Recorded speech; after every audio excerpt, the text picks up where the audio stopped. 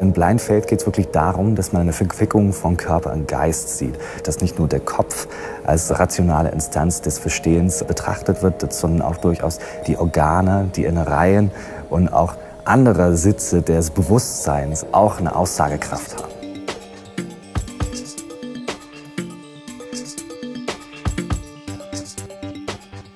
Die Recherchemethoden haben sich auch bei uns sehr stark eben auf digitale Weisen ähm, auch zumindest mit verschoben.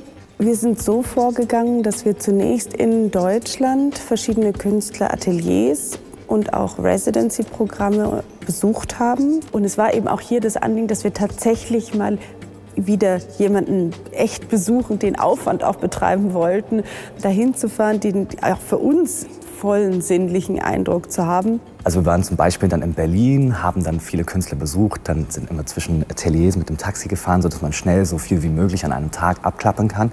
Und dann hat man wirklich innerhalb von diesen 20, 30 Besuchen, die man äh, in diesen zwei, drei Tagen gemacht hat, erkannt, dass wirklich dann diese Tendenzen zum Thema Glaube und auch zum Thema Körper sich auch herauskristallisiert haben. Und das hat sich dann nur bestätigt, als wir dann in anderen Städten unterwegs waren.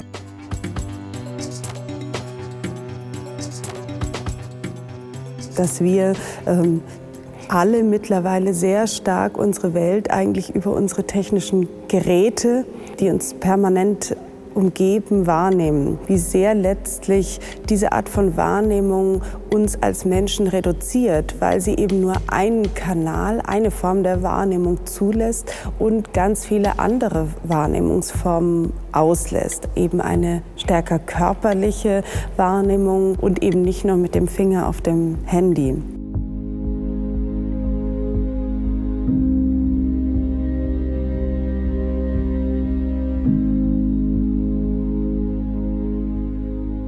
Denke, es ist auf jeden Fall eine sehr wichtige Frage nach der Gemeinschaft und wie wir überhaupt Beziehung und Kontakt leben können. Und ich denke, die andere wichtige Frage ist einfach die Frage, wie kann Identität überhaupt existieren? Wie kann ein Bewusstsein und ein Vertrauen in, in das eigene Selbst in einer Zeit stattfinden, in der alles fragmentiert ist, in der alles kopierbar ist, in der alles unendlich wiederholbar ist?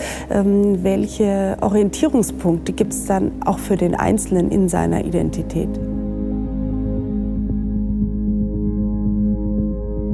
Wir wollten dann einen Titel auswählen, der wirklich dieses Physische, das Körperliche betont, aber dann auch das Immaterielle, das Spirituelle dann mit sich bringt. Blind Faith ist dann eine Vermischung aus dem Physischen, also Blindheit, das, was uns physisch betrifft, und Faith, eine immaterielle Idee von Glaube.